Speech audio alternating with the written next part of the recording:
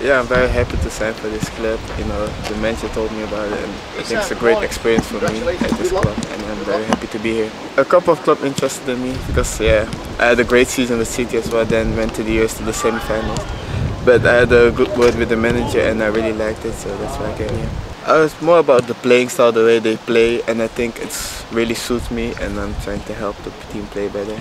I think a lot for me is like a new playing style. You know, playing now with men, where I used to play with under 23 players, so it's going to be a big challenge for me this year.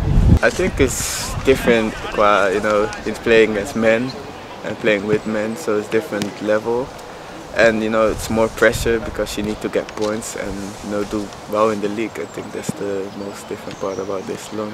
I think I'm just a hard-working player. You know, like to run forward, also like to score goals and assist in the forward play, but defending also very important for me.